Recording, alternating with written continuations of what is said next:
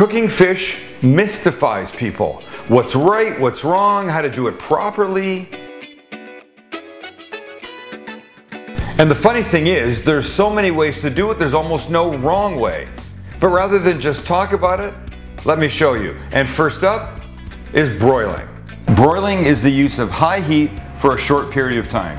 You use the top down burner in the oven. And when I broil, it's one side only. I don't flip.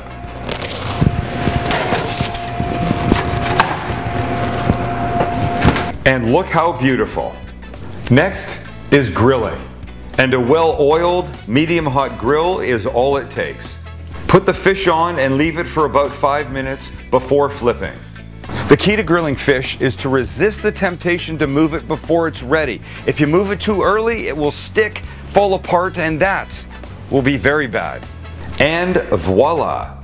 Poaching is a really delicate way to cook fish with hardly any extra fat being added. So try this. Put chicken broth, garlic, parsley, white wine, peppercorns, and lemon slices in a shallow pan. Bring to a simmer, season fish with salt and pepper, and put into the liquid and cover. Cook 8 to 12 minutes or until done. And finally, my favorite, searing.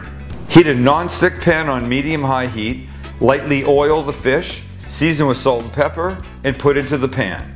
Cook until done about one third of the way, then flip. Continue on the second side the same, then remove. There you have it, broiled, grilled, poached, and seared. You take your pick, but they're all good.